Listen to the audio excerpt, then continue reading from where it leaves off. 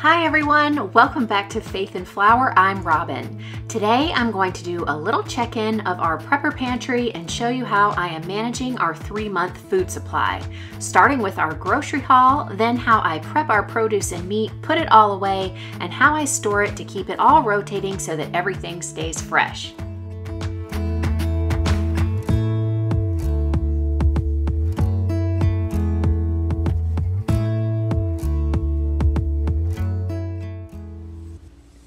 I just picked up our curbside order from HEB, which is one of our local grocery stores here in Texas and the one where I probably do the bulk of our shopping.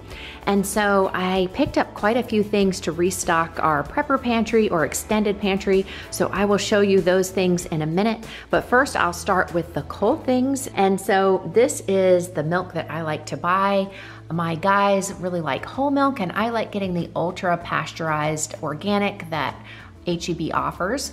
So this is generally a pretty good price, but it is also good for a long time, usually at least a month or so out, which makes it really nice. Um, sometimes we go through milk really quickly, and other times not so much. So, either way, if it's unopened, it lasts quite a long time. And then these are the eggs that we like to get, and these are rather pricey, but they are such good quality eggs, rich yolks, all of that. So, those are what we get generally. And then I picked up some cottage cheese for a recipe that I'm going to be making. And again, I just got the HEB brand. The organic is just too pricey, so I just stick with that. And then for fruit, I got some organic bananas. And I'm always a little hesitant with produce and things like that for the curbside order. I never know if the shopper is going to pick things the way I would. Um, these bananas look great and usually bananas are pretty safe. Also the strawberries are in season right now so I figured that was a safe bet as well. And for meat this week, I'm restocking our freezer a little bit. Their chicken was a pretty good price this week, and I like to get this um, natural one that they have at HEB. And what I do is just divide it up into smaller packets. I use my uh, vacuum sealer and then I put those in the freezer. So I'm going to do that today before I put these away. And I got the chicken breast and also some of the chicken thighs. I really like using both of these. I have lots of recipes and these are also the sort of thing that I can throw together at the last minute. So I was happy to be able to restock those. And some of the other produce that I picked up, which I also felt could be a pretty safe bet when someone else is picking out your produce, is a head of green cabbage. We love to make coleslaw, so this is great for that. Also, I can use it in soups and things in the wintertime, but in the summer, wonderful for coleslaw. And one of these English cucumbers or seedless cucumbers, I think they're also called like hothouse cucumbers, whatever you call them. This looks like a really nice one, and we make cucumber salad. It's also great in regular salads. Uh, my family is a big fan of cucumbers. I also got a bunch of asparagus, but here I think we went a little bit wrong. they don't look quite like what I would have chosen. I probably would have passed on these if it were me in the store. They just don't they look a little bit sort of shriveled and the ends don't look great, but I will use these quickly and um, I'm sure they'll still be okay. Also, I got some organic romaine hearts. This is probably our favorite lettuce for salads, so that is something that I keep on hand at all times. And then for onions, I got a bag of these Texas um, sweet onions. They're yellow onions, and I actually like the size of these. They're not too big, so they're really good in a lot of recipes, and I don't wind up with more than I really need.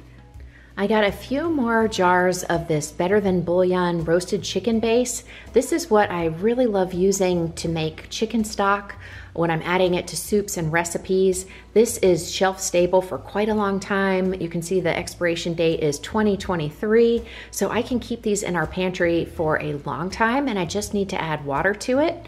It just gives a really delicious flavor. It's seasoned a little bit more than just your standard chicken broth or chicken stock, so it makes it really yummy.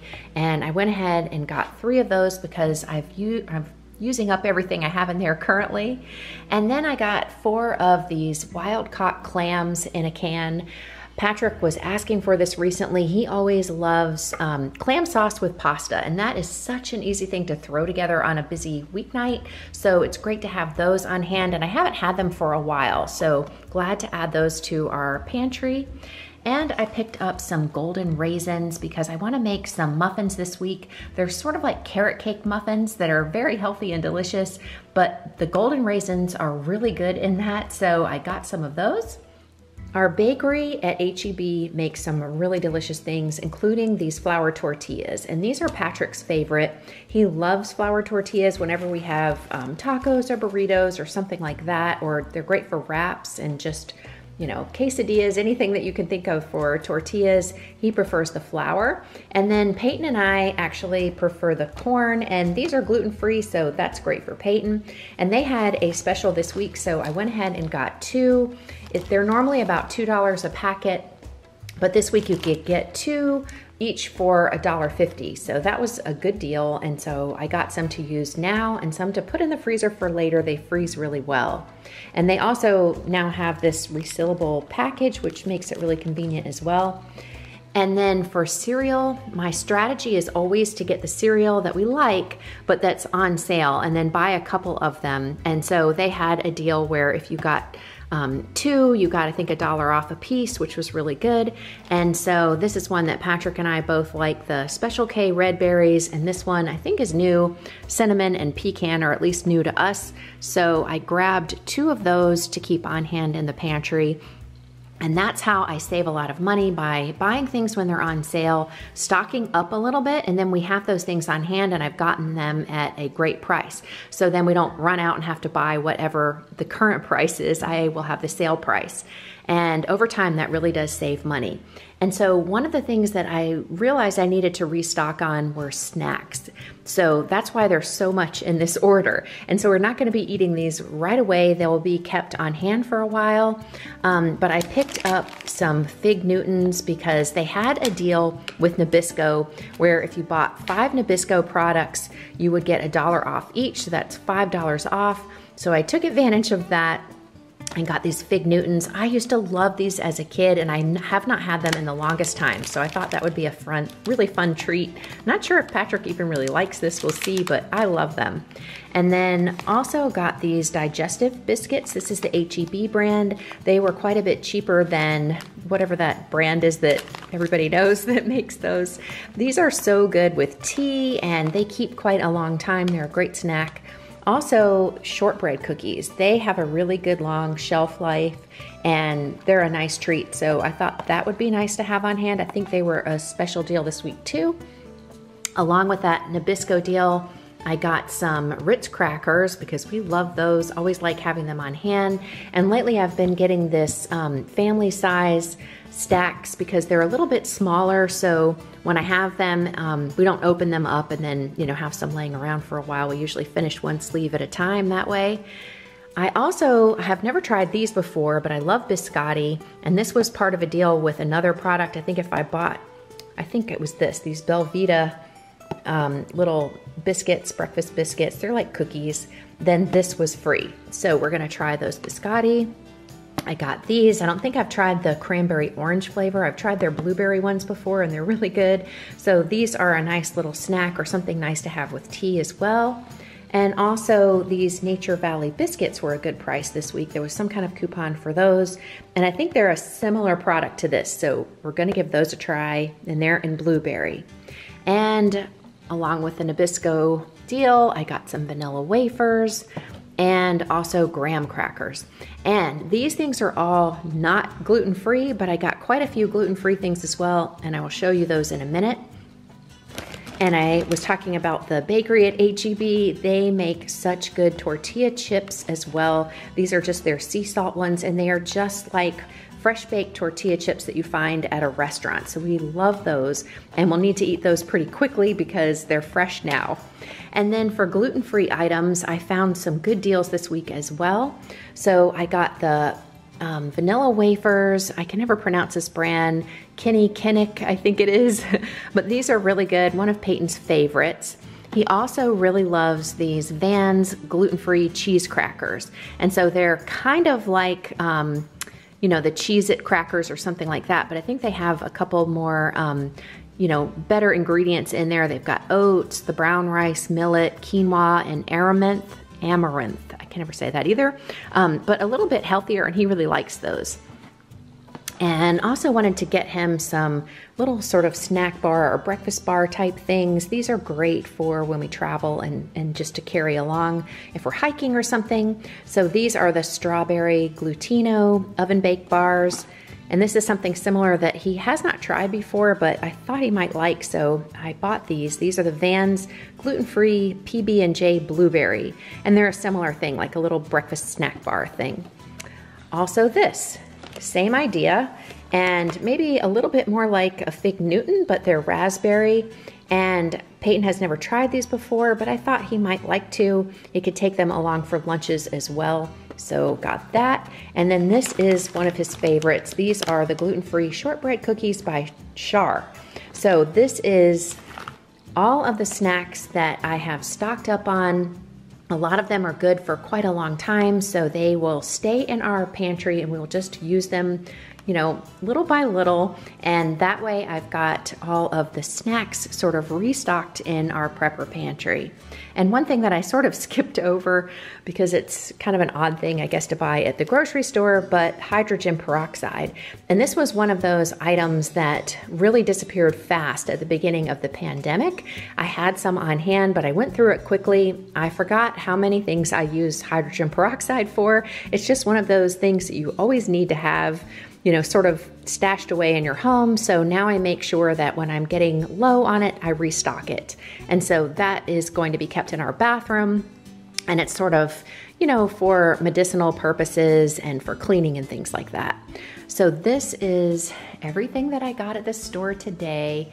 And of course, I will be supplementing more with produce and things like that, but I'll probably go in the store myself to pick out my produce.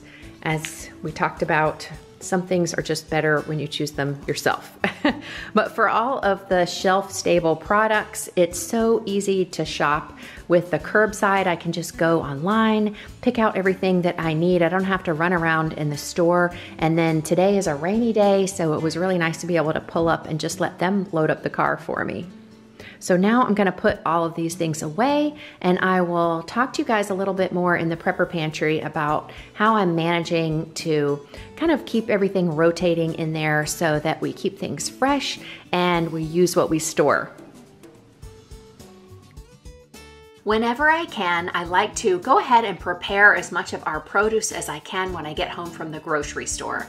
Right now, I'm washing some strawberries and I'm just putting a little bit of white vinegar in the bottom of my salad spinner. I will add water and the strawberries and allow the strawberries to soak for about five minutes. And so when I go ahead and prep our produce, it's much more likely to be eaten, but it's also just easier for me throughout the week to have as many of those things sort of ready to go.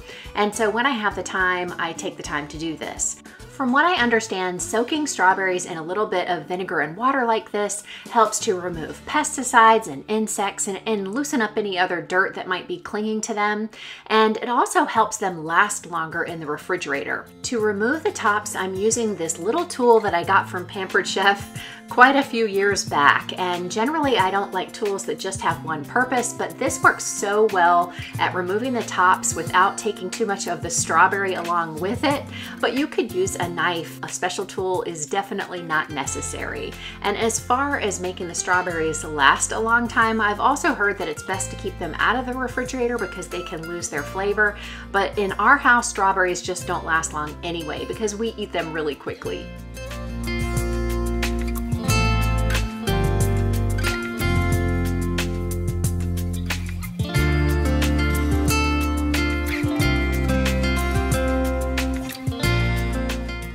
Our shopper today really did a good job with these. They look amazing and they taste great too. I just love strawberry season. I also like to prepare some of the romaine lettuce, so all I have to do during the week is grab it out of the refrigerator to throw together a quick salad. So I will chop up the romaine, I add it to my salad spinner, just give it a good wash and a good rinse, spin out as much of the water as I can, and then I store it in a container that's lined with a paper towel, and lettuce is ready to go and ready to be put together in a salad on a busy weeknight.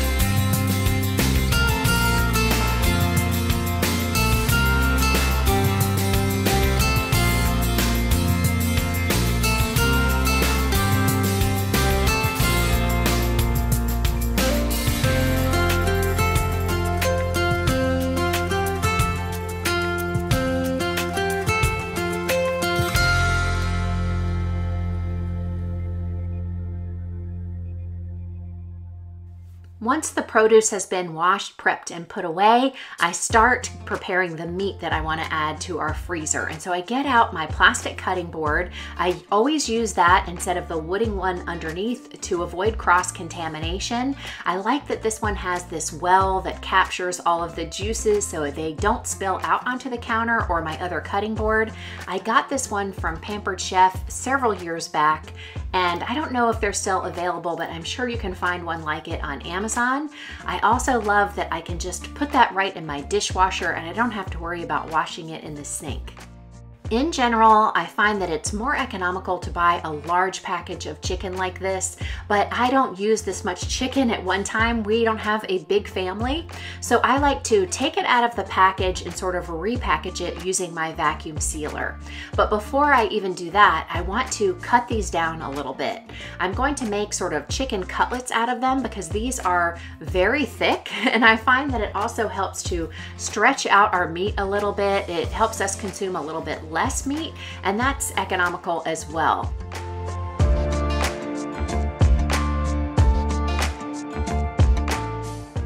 Once I have the chicken all sliced up, I'll put about two to three pieces in individual vacuum bags, seal those up, and then mark them with the date that I bought them.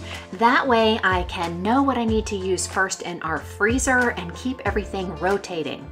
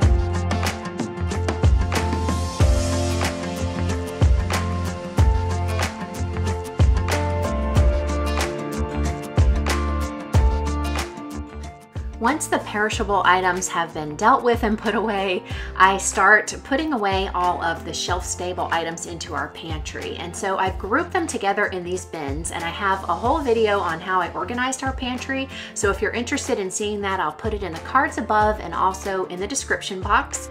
This one is where I keep some of our pasta sauces along with all of the bouillons and stocks. So I'm going to add the Better Than Bouillon into this one.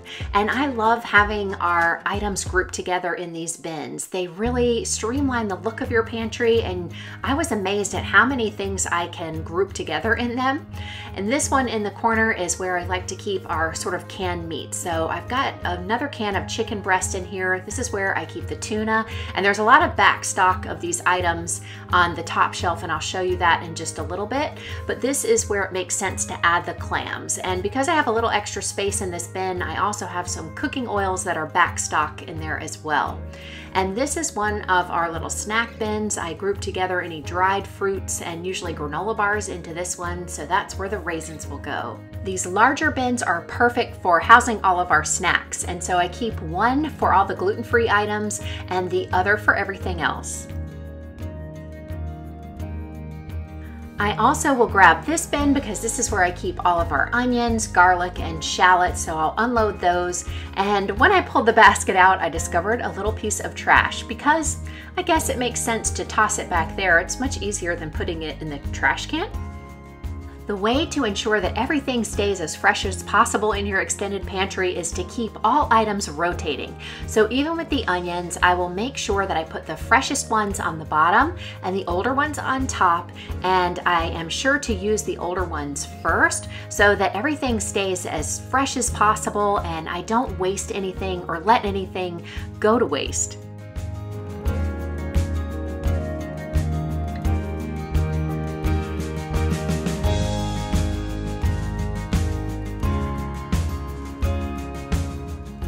Keep our potatoes in the same type of basket, but on the other side of our can racks so that the potatoes and the onions are safely separated. You guys actually clued me into that, and that ensures that everything stays fresh as well because storing the onions and the potatoes too close to each other can cause the potatoes to sprout early. And since I've been doing this, I've noticed that they do stay fresher longer. Next, I arrange everything in their appropriate baskets. So this is our snack basket. And again, I try to put the things that need to be eaten first closer to the front.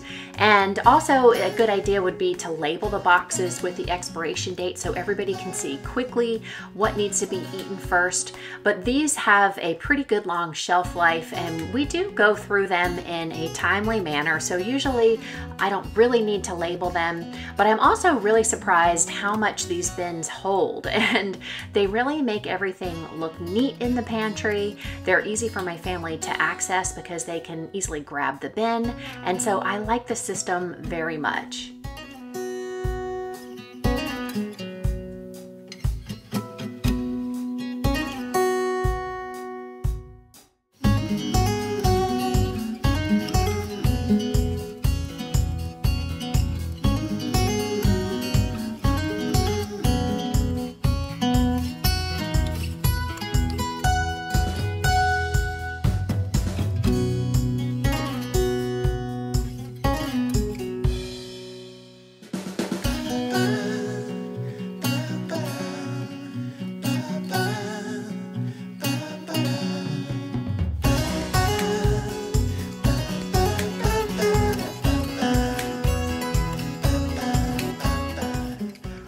Things we use on a daily basis are on the shelves that are easily accessible.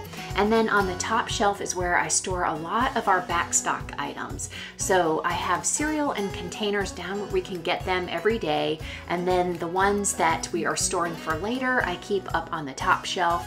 Just below this, I keep a little section of gluten-free items for Peyton, so I'm putting some extra cereal there. Some of the back stock items that I keep on the top shelf are coffee, canned chicken. There's a whole nother case under there that you can't see. We keep extra rice up here. I actually have quite a lot on the shelf below.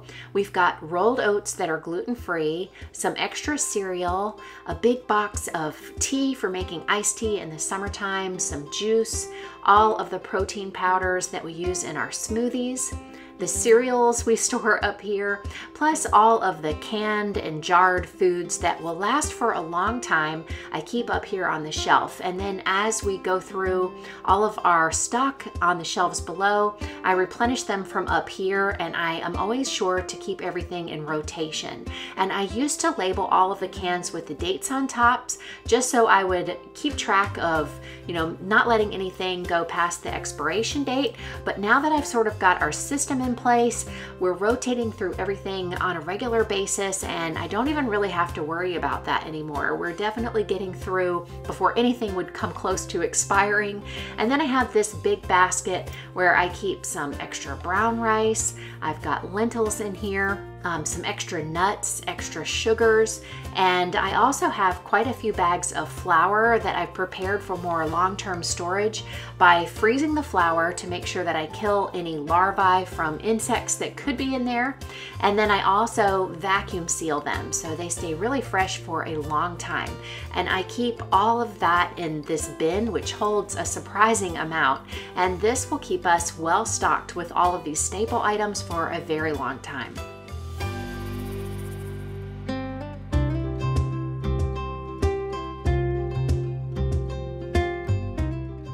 This rack for our canned goods makes it really easy for me to keep things in rotation because I'll always put the newest cans in the back and the oldest ones in the front. And as I need to, I will replenish from the shelves above. And as I was talking about before, I used to always write the dates on the top of the cans. And this is a really good idea until you get your system down really well, just to be sure that you know what your older items are and what you need to be using so that you don't let any food go to waste. If you enjoyed today's video, be sure to give me a thumbs up. I hope that it helped you get an idea of how our family rotates through the food that we keep on hand for our three month food supply. If you're interested in some of the recipes that I use to make sure that we are using what we have in our pantry, I will have a couple of videos linked down in the description box. Thanks always for watching. Don't forget to subscribe if you haven't already done so. I look forward to seeing you in the comments and the next video. Until then, have a wonderful week.